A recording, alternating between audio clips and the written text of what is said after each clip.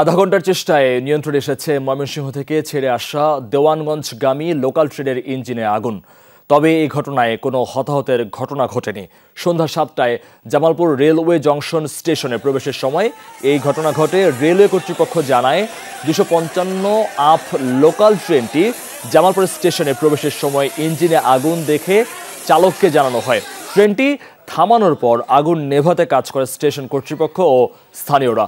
ইঞ্জিনে অতিরিক্ত গরমের কারণে আগুন লাগে বলে ধারণা করছে রেলওয়ে কর্তৃপক্ষ। ময়মনসিংহ থেকে আরেকটি ইঞ্জিন আসার পর সেটিকে সংযোগ করে ট্রেনটি দেওয়ানগঞ্জের উদ্দেশ্যে ছেড়ে যাবে বলে জানানো হয়েছে।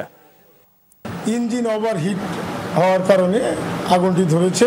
লোকজন, হকার, দোকানদাররা আগুন নিয়ন্ত্রণের চেষ্টা করে পরবর্তীতে খবর পাওয়ার সঙ্গে সঙ্গে ফায়ার সার্ভিস জামালপুর এসে আগুন নিয়ন্ত্রণে আনে। প্রাথমিক ধারণা আমাদের, পরবর্তীতে তদন্ত সাপেক্ষে বলা যাবে ক্ষয়ক্ষতি উদ্ধারের পরিমাণ তা জানা যাবে। আমরা ফায়ার সার্ভিস সিভিলেন্সের জীবনের ঝুঁকি নিয়ে আমরা দ্রুত আগুনটা নিবন্ধন করি।